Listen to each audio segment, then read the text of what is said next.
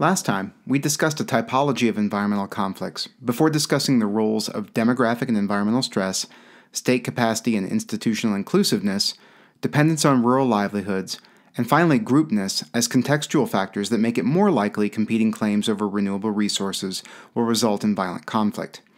This time, we'll develop three mini case studies that illuminate the pathways by which these conflicts develop and escalate to violence.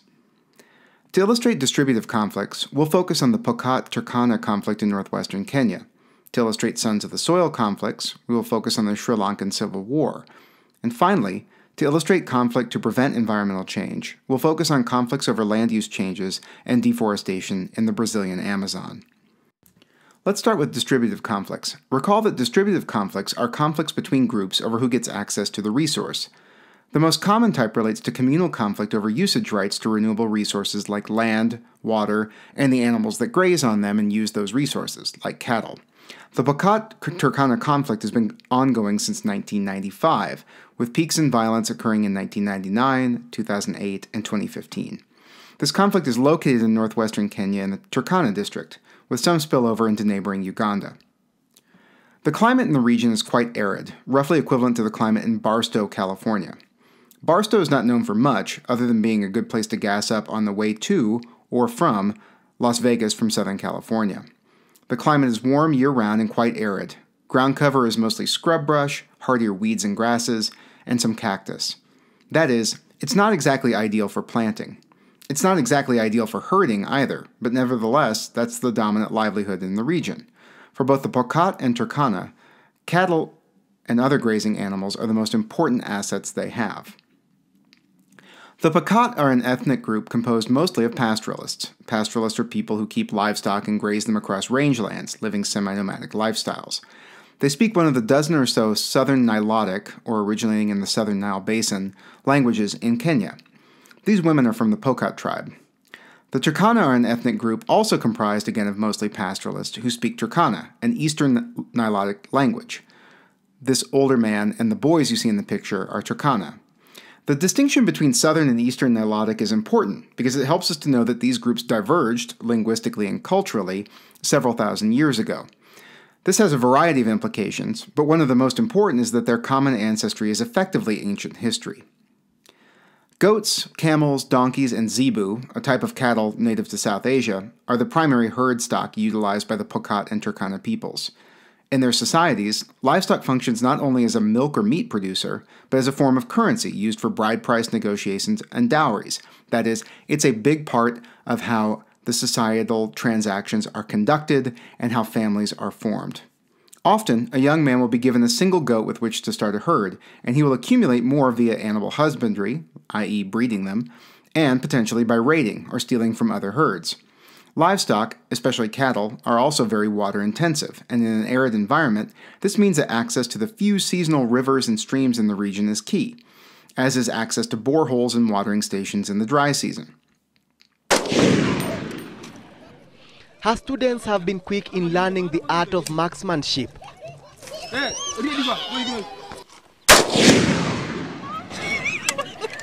And what is supposedly a blood curdling experience to many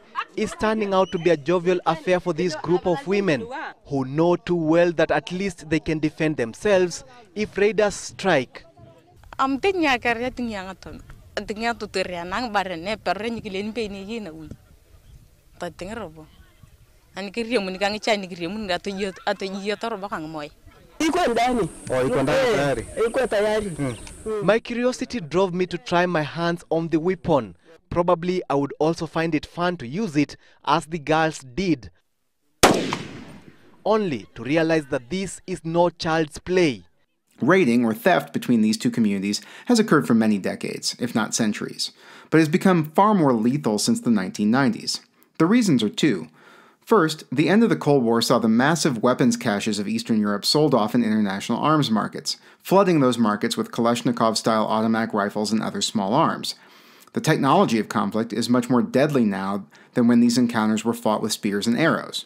And to be sure, they still are fought with spears and arrows in many instances.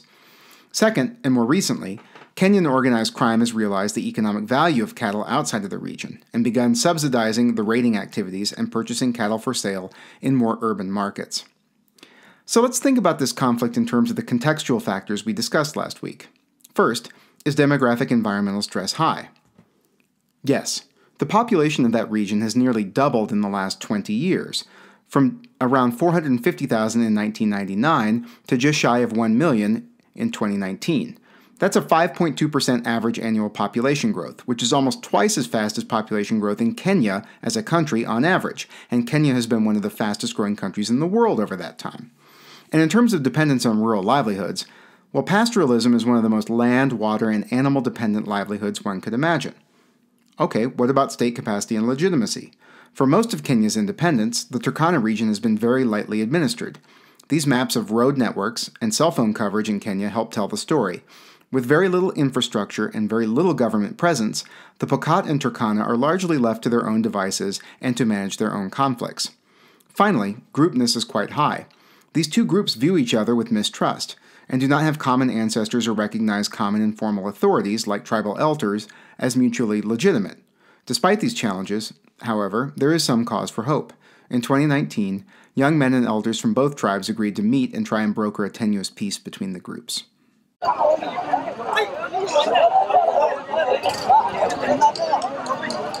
What started out as a reconciliation process turned into an armed battle after the two conflicting communities resorted to a confrontation to settle their scores.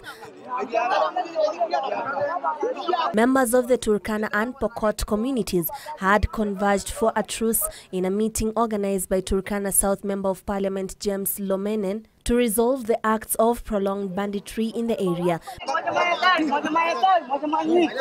Minutes into the meeting, one agitated armed bandit from the Pokot community is said to have stormed into the meeting, causing a pandemonium. He claimed that he could not reconcile with his counterpart from the Turkana community as he was yet to return to him 20 of his goats he stole from his homestead last year.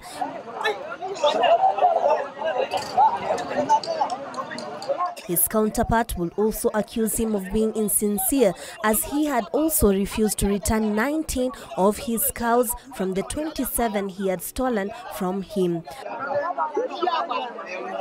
An exchange of words will then follow, a move that sparked the intervention of Turkana leaders who dismissed the warriors from Pokot community. And it is here that things fell apart. The irate Pokot warriors then stormed back at the venue armed with guns, creating a commotion. A shaken Turkana South Member of Parliament James Lomonen took to his heels and the meeting ended just as it started. It was a life threat and we were almost losing life. Both Pokot and Turkana, there was tension already. Even when we were handing it over, so, and uh, most of them were also drunk. Yeah. So, uh, but I thank God uh, with what really happened because even the reporters were there, the security were there. Almost everybody. Now, let's turn to Sons of the Soil conflicts. Recall that Sons of the Soil conflicts are conflicts between ethnic or religious groups that consider themselves indigenous, the original inhabitants of a given territory, and recent migrants from other regions of the country. Last time, I said indigenous, which implies being the original or native inhabitants of a place. I should have probably said the much harder to pronounce autochthonous, which implies a historic tie to a location but not necessarily indigenous identity. For example, the Xhosa ethnic group in South Africa is not native to the Eastern Cape of South Africa. Xhosas migrated to the region in the 11th century. But they are autochthonous, especially with respect to the more recent migrants from the Netherlands and England that arrived in the 16th and 18th centuries. The Sri Lankan Civil War is the paradigmatic Sons of the Soil conflict and was one of the more brutal ethnic civil wars of the past 30 years, characterized by widespread use of suicide bombing, naval battles, and even air battles. It's a war that has lasted on and off for a quarter of a century. Not only on land, but also at sea. And the Tamil Tigers even became the first group of their kind to have an air force, as the years passed, it was a war fought with increasing ferocity. This was the violent anti-Tamil backlash after the Tamil Tigers killed 13 soldiers in an ambush in 1983. What had been a political campaign for a separate Tamil state now took a new direction. The rebel ranks swelled. By 1987, the war had reached a stage where India, with a large Tamil population of its own just across the narrow straits from Sri Lanka, intervened and sent in a peacekeeping force. The LTTE had set up the Black Tigers to carry out suicide attacks against political, economic, and military targets, a blueprint for suicide bombings in the Middle East. It also had a special female squad called the Freedom Birds. India's role in the conflict was a disaster and had deadly consequences for Rajiv Gandhi, who was Prime Minister at the time the troops went in. He was killed at an election rally in 1991 by this female Tamil suicide bomber. Two years later, a suicide bombing claimed the life of Sri Lanka's then President Ranasinghe Premadasa. The Tamil Tigers' ruthlessness, military style organisation, and the level of conviction among their followers was now well established.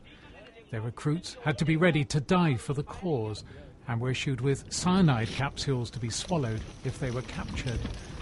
The Tamil Tigers' supreme leader, Velupillai Prabhakaran, speaking in 1995. Our people have lost patience, lost hope, and reached the brink of utter frustration. They're not prepared to be tolerant any longer. The new government should come forward soon with a reasonable political framework that will satisfy the political aspirations of the Tamil people. This is our urgent and final appeal.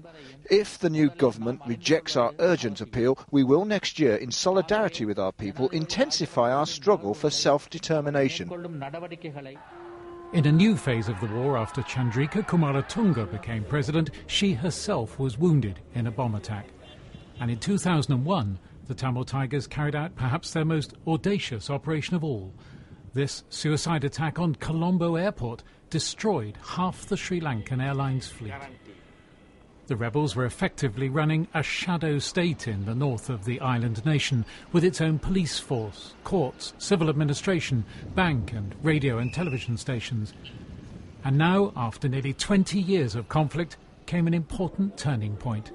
A ceasefire agreement mediated by Norway after the LTTE had dropped its demand for a separate state in favour of regional autonomy. Now, too, a split in the LTTE's own ranks, led by this man going by the nom de guerre of Colonel Karuna. Once a bodyguard of Velupillai Prabhakaran, he led a revolt in the east of the island, charging that cadres from the region were not adequately represented in the Tamil Tigers hierarchy. After the ceasefire between the LTTE and the government finally broke down, the way was paved for the government offensive that saw the fall of the Tamil Tigers' de facto administrative capital, Kilinochchi, in January this year. The rebels were soon fighting to hold on to an ever shrinking amount of territory, but they still staged an air attack on Colombo, this plane plunging into an inland revenue office. Many thousands of Tamil civilians were trapped in the last battleground though in time more and more made their way across the front lines to crowded displacement camps. No humanitarian crisis, it seemed, was going to thwart the government's intention of finishing off the Tamil Tigers. Now, this video correctly categorizes the Tamil the movement as a separatist one, really with the ultimate aim having been the greater regional autonomy, if not the outright national independence, of the Tamils from the Sri Lankan government in Colombo. But the root causes of the conflict extend much further back than 1983. Sri Lanka is an island nation in the Indian Ocean, separated from the Indian subcontinent by, at its narrowest point, just 10 miles. The British colonized Sri Lanka from 1815 to 1948, which was prized for its rich coffee and later tea and rubber plantations, as well as its attractive location for shipping and commerce in the Indian Ocean. Ethnically, Sri Lanka is composed of three main groups the Sinhala, Indian Tamils, and Sri Lankan Tamils. The Indian Tamils were brought to the island to work in the plantations of the highlands of the central south. Sri Lankan Tamils comprise about 24% of the population, concentrated mostly in the north and eastern parts of the country. The majority ethnic group, the Sinhala, traditionally lived in the highlands and the southern regions around the capital of Colombo. As was often done during the colonial era, the British relied heavily on the ethnic minority Tamils to staff the local civil service and elite positions within the economy. However, the movement against British colonial rule was a decidedly multi ethnic one, with Tamils and Sinhalese joining forces under the banner of the Ceylon National Congress, which was founded in 1919. Following the Second World War, Sri Lanka won independence in 1948. The introduction of universal suffrage in the 1930s had already threatened to erode Tamil dominance of the government, but this process was sped up considerably in the 1940s and 50s. First, in 1949, the Gal Oya Development Board was created to address poverty and overpopulation in central and southern provinces, and began a process of relocating landless Sinhalese peasants to comparatively sparsely populated Tamil dominated areas in the eastern province, this map shows you current population density, which is a pretty good reflection of historic population density. And as you can see, uh, traditional Sinhala homelands were much more densely populated than the Tamil regions.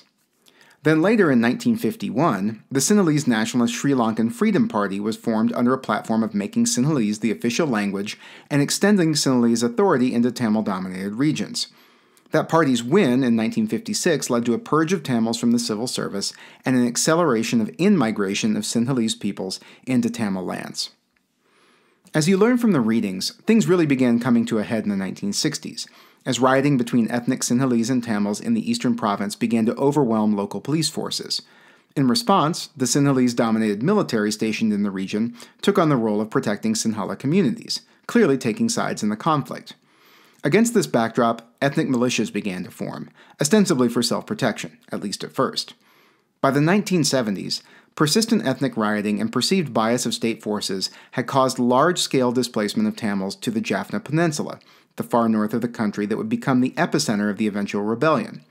In 1976, the Liberation Tigers of Tamil Eelam, or the Tamil Tigers, had formed, and began a campaign to end Sinhala influence over the Tamil homeland.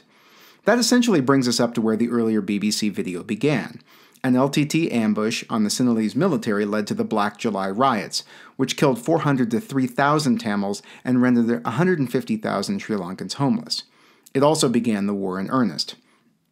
That war would not end until 1983, when the Sri Lankan government won a decisive military victory, at the cost of countless civilian lives caught in the crossfire.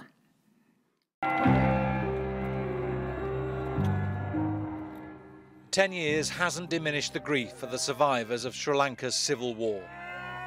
Thousands of Tamil civilians were trapped on this strip of land as government forces and the Liberation Tigers of Tamil Eelam fought out the last weeks of the war. Nyana Seelan Rahini was eight months old at the time. She was found sucking milk from her dead mother's breast. The UN estimates that 40,000 civilians were killed in the last few months of the fighting as the government launched its final assault on LTTE fighters. Today, 10 years on, there are still families here waiting for the government to tell them what has happened to thousands of fathers and sons and mothers and daughters who went missing during the conflict. Kadil Karmanardan Kukilavani's 18-year-old son disappeared after he walked into a military-controlled area trying to escape the fighting. No one has told her what happened to him. It's too painful for us even to step foot in this place. No one understands the suffering and pain from losing our loved ones. It's unbearable to be here. Tamils started fighting in 1983 for a homeland because they felt marginalised by governments dominated by Sinhala Buddhist interests.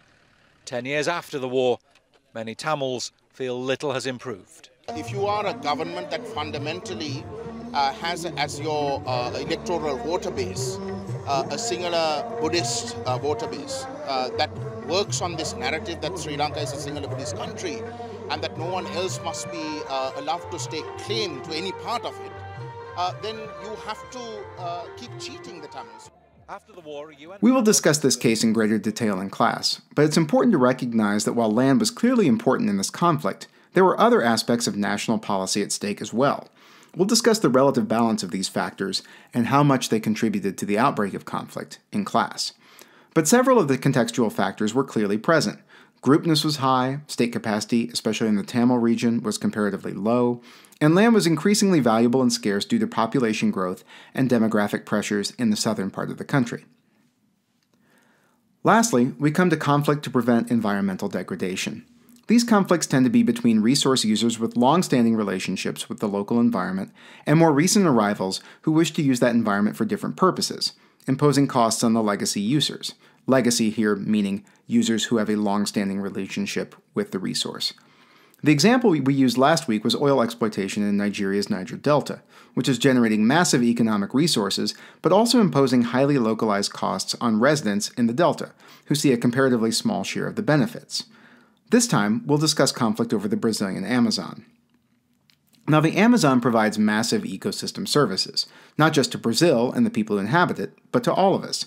The Amazon's rainforest ecosystem provides as much as 8.2 billion to Brazil's economy on an annual basis, but that doesn't even begin to capture the global public good it provides in terms of carbon sequestration, the storage of carbon dioxide or other forms of carbon to either mitigate or defer global warming and avoid dangerous climate change.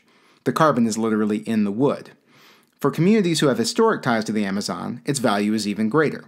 But not all resource users see the Amazon the same way.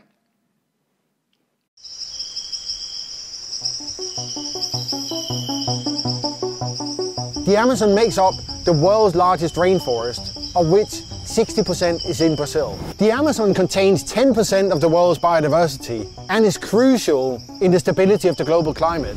It is also home to a significant indigenous population that have long been the stewards of the forest. Under President Bolsonaro's policies, deforestation rates, already on the rise, could increase drastically. O Brasil não suporta ter mais de 50% do território demarcado como terra de indígena, juntamente com a proteção ambiental, com parques nacionais e, e essas reservas todas atrapalham o desenvolvimento. As pessoas estão em primeiro lugar. A DBR 19, né? Isso é mais agora a gente preocupa mais, porque ali vai chegar muita coisa é, eu quero falar diretamente ruim para a terra indígena. For the indigenous population already under threat, loss of protection could lead to an increase in violence, conflict and the exploration of their land for commercial interests. Eu tô aqui com medo fazendo essa entrevista de ter alguém aqui querendo fazer algo comigo, coisa que não é boa.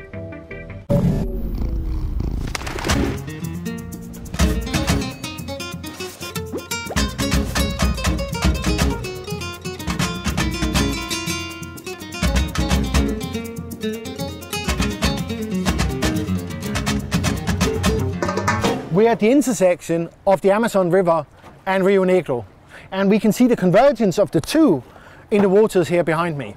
The rivers are like the roads of the Amazon, allowing for the establishment of communities and as a mean of transportation.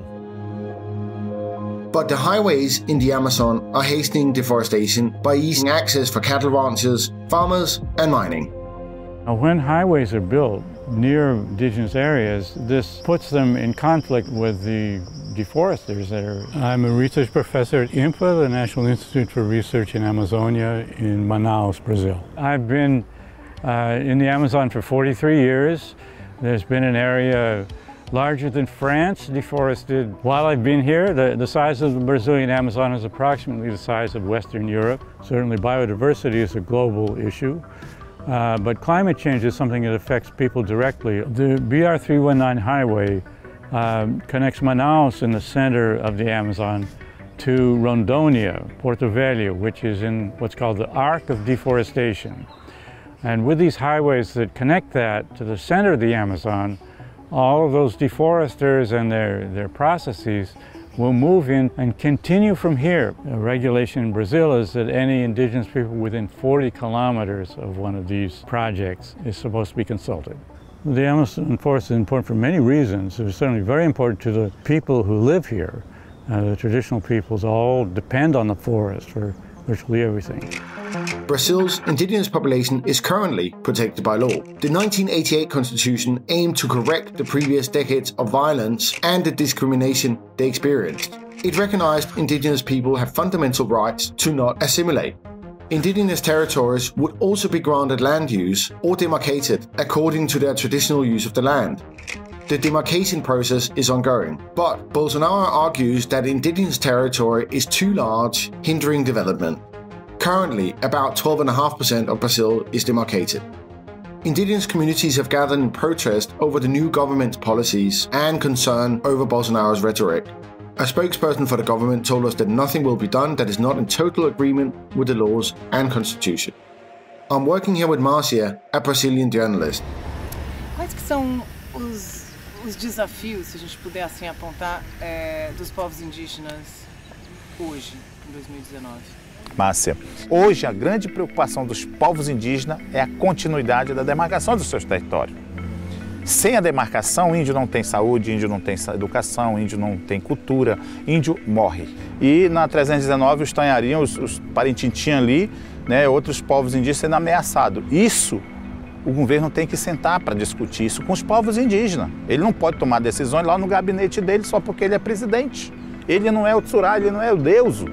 Ele tem que respeitar. A Constituição Federal é lei. Então esse momento é um momento crítico para nós povos indígenas, porque o governo não está nos ouvindo. We're traveling to Humaita, a hotspot for deforestation in the Amazon, to see what's at stake in the area. There's no easy way from Manaus to Humaita. The road B319 is unpaved, plus we're in the rainy season, so that equals an impassable amount of mud. Instead, we're gonna fly to Porto Velo, and from there, it's a long drive. The BR319 was built in the 1970s but later abandoned. The state government needs the support of the federal government to pave the section between Manaus and Humaita. However, Bolsonaro has not included the BR319 in the current highway investment budget. Humaita sits close to some of the greatest areas of deforestation. The Humaita offices of Brazilian's Environmental Protection Agency, IBAMA, was burned down in 2017 and has not been rebuilt.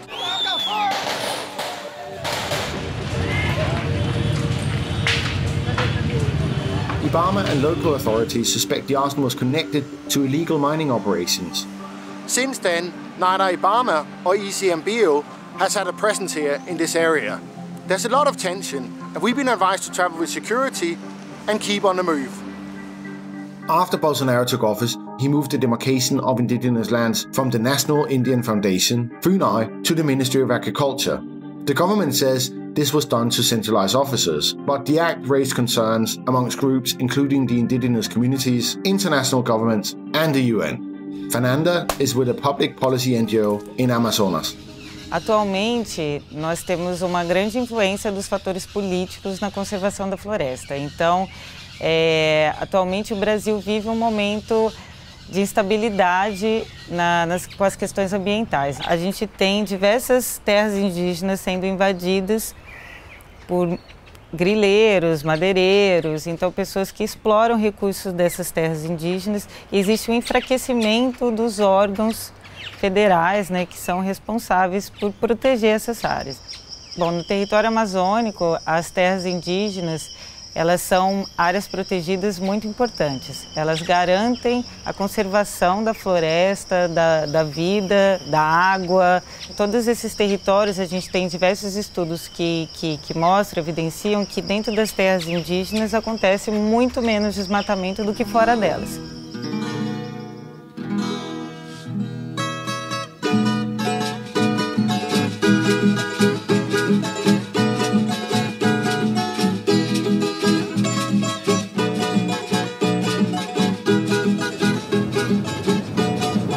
Driving on this road is a little bit like mud wrestling in a 4x4. On this road, we could easily get stuck in the mud, and with no cell service, there's no one to call for help.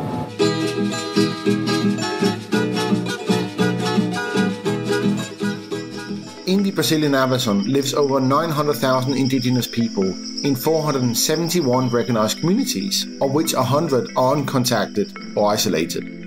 We're visiting the Nova de Janeiro community who live close to the BR319 and are told they will be consulted on the road. Como vai, vai passar a, a BR-319, um vai aumentar o, o número de pessoas em Humaitá, vai aumentar a demanda nos hospitais, até a própria produ produção aqui a gente não vai ser muito valorizado, porque eles vão estar exportando muito de fora para cá, entendeu? Então a gente vê isso com muita preocupação. Ah, a floresta é nossa vida, né? Nossa terra, daqui nós é, nós temos antepassados enterrados, nós tem toda uma tradição, toda uma cultura aí que vem passando de gerações para gerações, né? E ela é tudo pra gente. Se não fosse ela, a gente não existiria, né? Como você vê o desmatamento? E a floresta em si é como se fosse o pulmão de todo o planeta, entendeu? Cada vez que você vai desmatando mais, cada vez ele vai trabalhando mais com força, vai sobrecarregando ela e vai chegar um tempo que ela não vai resistir, né?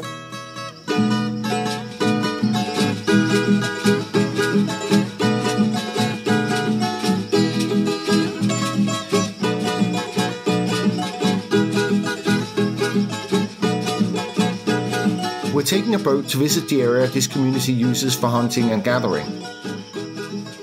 As the non-indigenous population encroaches, they have to travel further into the forest to find what they need.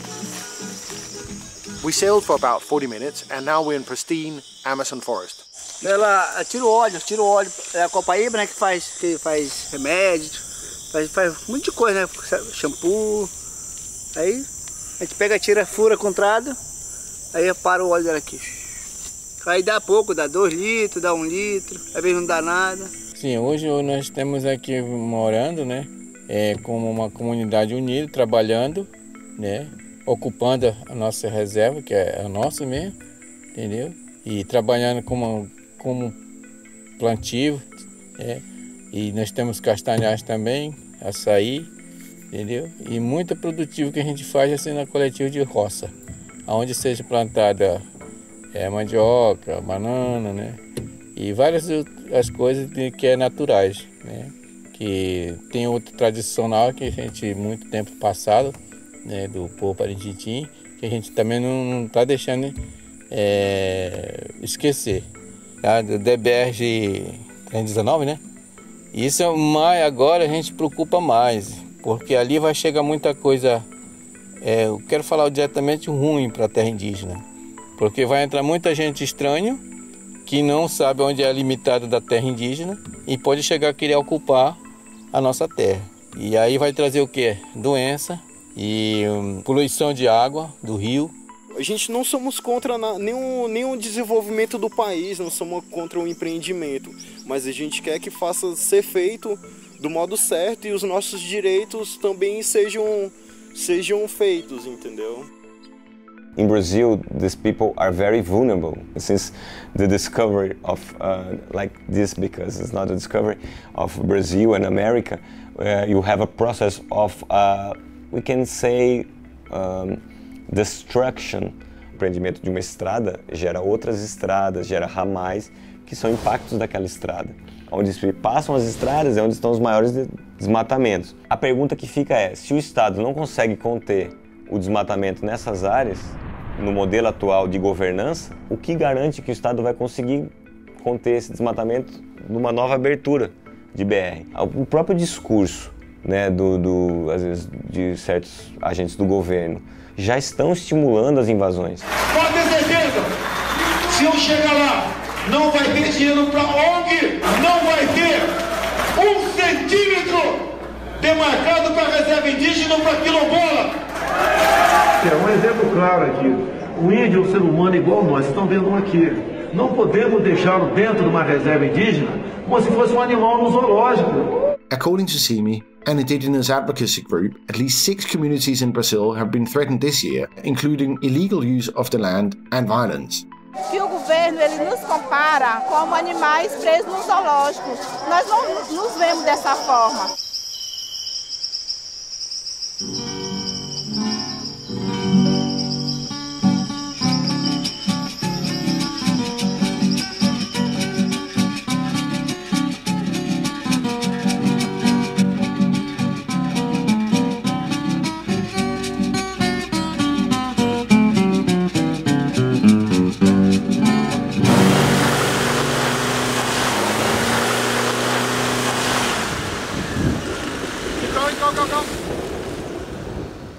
Paving roads like the BR319 will increase access, but it's not just about the main road. There's all the offshoots that will increase accessibility, and with that, deforestation. Vila Realidade is the last settlement before we reach an undrivable part of the BR319. The population has grown over the last few years from 1,000 to 7,000. Eu vim do estado de Rondônia, certo? E como a gente é evangélico, o senhor me mostrou num sonho esse lugar. E aí eu vim Através de outra pessoa me indicou que aqui existia esse local, eu vim. Aí, aí vi a terra que eu tinha visto em sonho e procurei saber o dono, o dono vendia e eu comprei.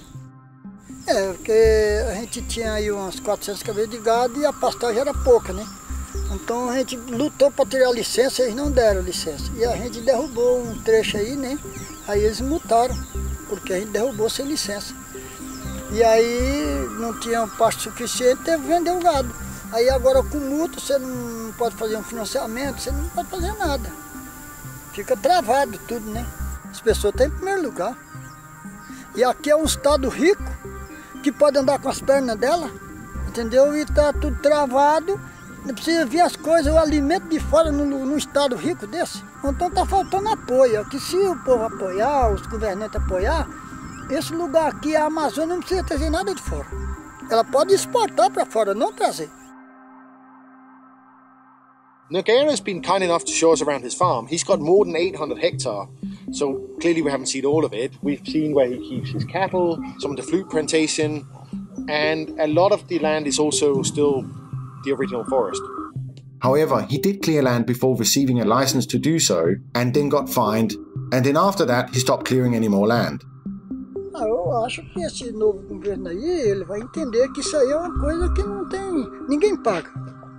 entendeu? Ninguém paga, porque eles eh, dá de entender que eles multam as pessoas, multavam assim, para assustar a pessoa mesmo, para a pessoa não fazer mais, aí parar tudo.